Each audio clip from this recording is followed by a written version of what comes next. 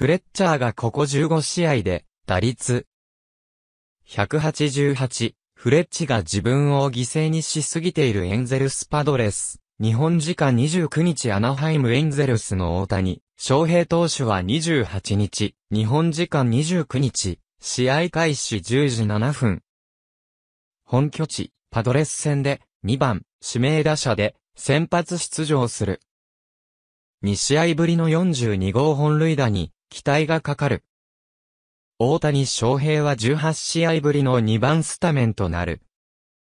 マドン監督は10日、同11日のブルージェイズとのダブルヘッダー第2試合から1番、大谷翔平。2番には高打率のフレッチャーを置いてきた。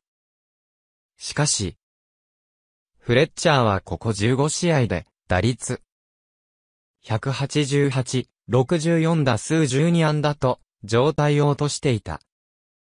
彼、大谷翔平と勝負してもらいたいから、2番先発と違う起用をしていた。しばらくうまくいっていたが、フレッチが自分を犠牲にしすぎているように感じたので、また、自分のために打ってほしいと思ったと説明した。続けて、翔平は戦うことができるし、グース、ゴセリンもフレッチが今している役割を果たせるだろうと思った。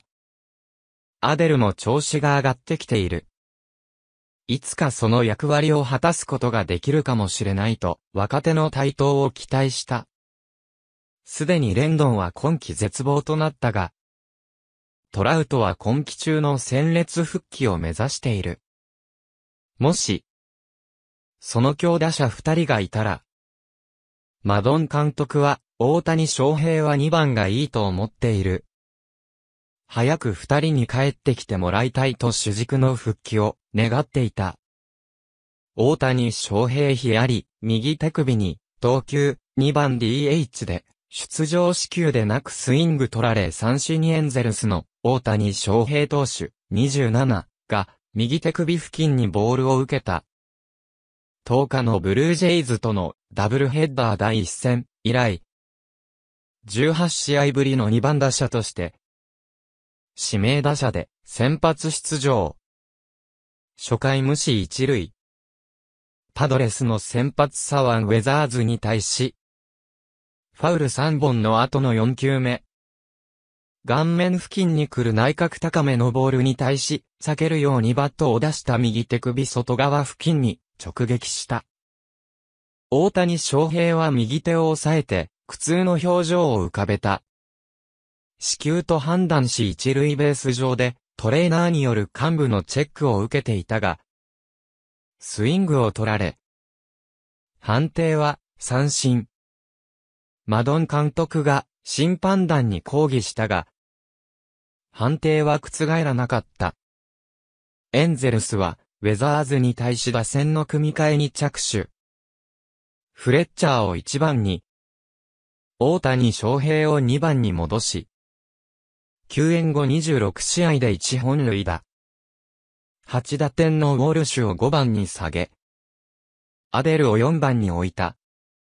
大谷翔平は試合前の段階で124試合、代打8試合に出場し、打率266。メジャートップの41本塁打。同5位タイの89打点。アリーグ5位タイの19盗塁。日本選手では13年のイチロー、ヤンキースと、青木、ブルワーズ以来。8年ぶりの20盗塁に、あと1に迫っている。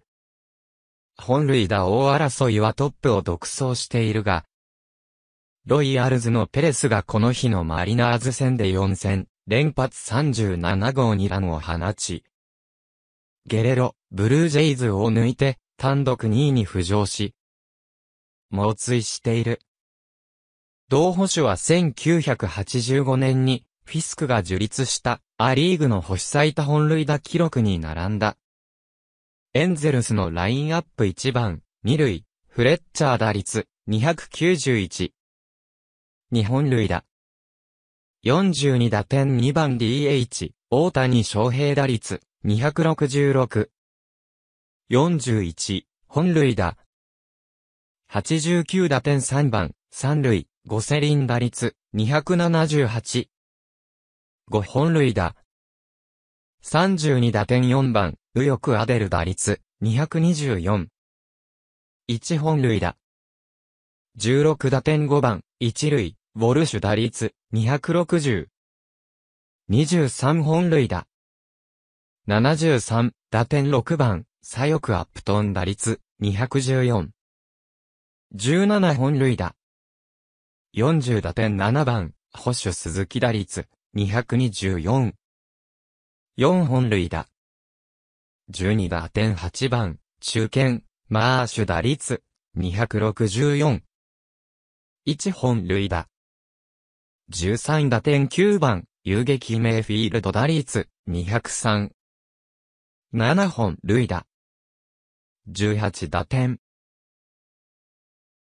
次のオーディオビデオでお会いしましょう。